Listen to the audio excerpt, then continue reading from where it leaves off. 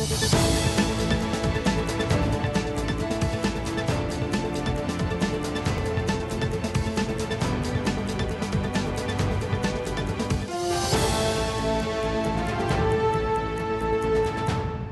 Добро утро с първите за деня новини по света и у нас. Започваме с данните за разпространението на COVID-19 в страната. По традиция в понеделник случаите са по-малко. 497 са новите заразени с коронавирус. Направени са 1634 ПСР теста. Това показва данните на един информационен портал. 30% от направените проби са положителни. Остава висок броят на хората, които са в болница – 7244 пациенти, като от тях 590 са в интензивни отделения. Оздравелите са 1963, починалите са 62. Най-много са новите случаи в София, Варна и Бургас.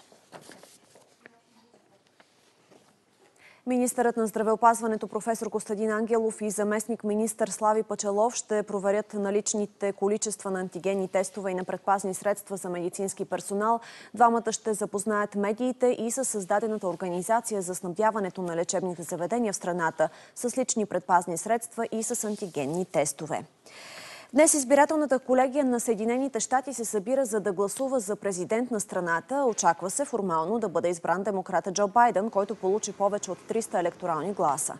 В петък Върховният съд на Съединените щати отхвърли заведения от щата Тексас иск за обявяването на резултатите от президентските избори в четири ключови щата за недействителни.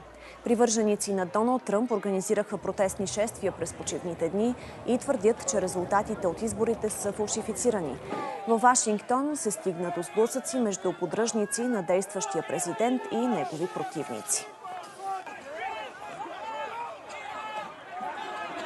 Въоръжен мъж беше застрелян пред катедрала в Манхатън. По данни на полицията няма информация за други пострадали хора. Инцидентът е станал след концерт в църквата, когато се чули изстрели. Според полицаите, стрелецът разполагал с пушка, мъжът бил прострелян и откаран в критично състояние в болница, където е починал. И накрая на емисията информация за някои от ограниченията по пътищата у нас. Карайте внимателно при километър 424 на магистрала Хемос посока София. Изгражда се пътна рампа между улица Танас Москов и северното платно на Хемос. Ограничението на скоростта е до 70 км в час. И още на пътя Слънчев бряг Бургас при обхода на град Поморие от 222 до 225 км се осъществява с повишено внимание заради изграждане на второ пътно платно. Движението се организира в двете новоизградени платна, като скоростта на движение е ограничена до 50 км в участъците на съществуващите кръстовища. Още проверена информация ще намерите на сайта ни BNT News.bg, както и в мобилното ни приложение. Остана да разберем и какво ще бъде времето в началото на тази седмица. Сега от. Добро утро!